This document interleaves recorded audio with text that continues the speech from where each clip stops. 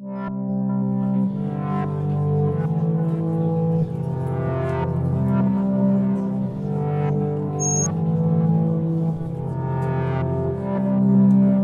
le domaine de la réalité virtuelle, on a à faire face à un certain nombre d'enjeux de nos partenaires industriels. D'une manière générale, ces partenaires travaillent de plus en plus, de manière croissante, avec des maquettes numériques de la donnée digitale qui est de plus en plus fournie, qui est de plus en plus riche, qui est de plus en plus volumineuse. Et ces partenaires cherchent autant qu'il est possible à utiliser ces maquettes numériques pour vérifier un certain nombre de choses, pour concevoir, pour apporter dès qu'il est possible et au plus tôt qu'il est possible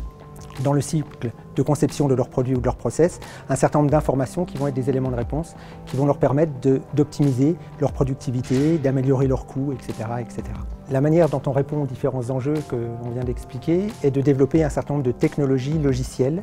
des technologies de simulation interactive qui vont nous permettre d'apporter des fonctionnalités dans la maquette numérique de nos partenaires industriels.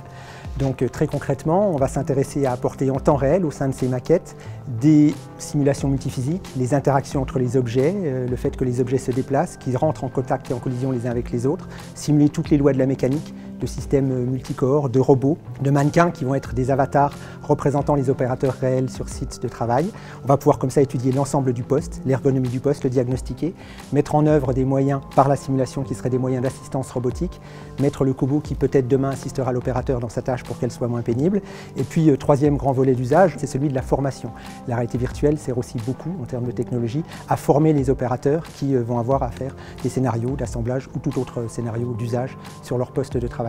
Point important, c'est que les technologies qu'on développe sont logicielles et qu'elles peuvent tourner aussi bien dans un grand système immersif qu'on appelle un cave, avec des systèmes de tracking du geste et des postures qui sont très conséquents et parfois lourds à mettre en œuvre, jusqu'à des systèmes poussés par le grand public et par les technologies issues du jeu vidéo, que sont les casques de réalité virtuelle, qui émergent de nouveau sur le marché et qui aujourd'hui sont bas coût, ce qui, point important, démocratise la réalité virtuelle et permet au plus grand nombre de nos partenaires industriels, du grand groupe jusqu'à la PME, d'utiliser demain euh, chez lui euh, ce type de technologie.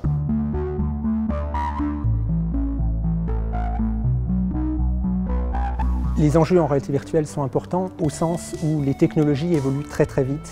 se démocratisent. On voit apparaître des casques, c'est des systèmes qui coûtent pas cher, des moyens de tracking euh, euh, voilà, euh, issus du jeu vidéo. Et donc la réalité virtuelle et les maquettes numériques sont de plus en plus présentes chez nos partenaires. Donc on a des enjeux qu'on relève aujourd'hui et qu'on va continuer à relever demain, à apporter dans ces maquettes de plus en plus de fidélité, de réalisme de simulation pour aller jusqu'à l'usine future, le manufacturing avancé et ces grands enjeux de nos partenaires industriels.